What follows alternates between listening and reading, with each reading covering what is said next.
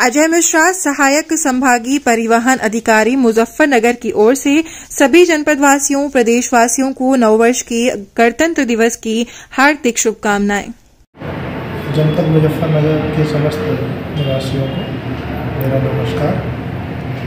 और सभी को इस नए वर्ष की बहुत बहुत शुभकामनाएँ।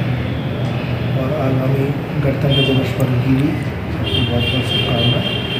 और परिवहन विभाग मुजफ्फरनगर की तरफ़ से ये प्रयास करेंगे आप सबके सहयोग से हम सड़क सुरक्षा को सुनिश्चित कर पाएँ और जन सामान्य को अधिकतम अच्छे तरीके से अधिकतम सुविधाएँ देते हुए उनके कार्यों का निष्पादन समयानुसार किया जा सके। धन्यवाद।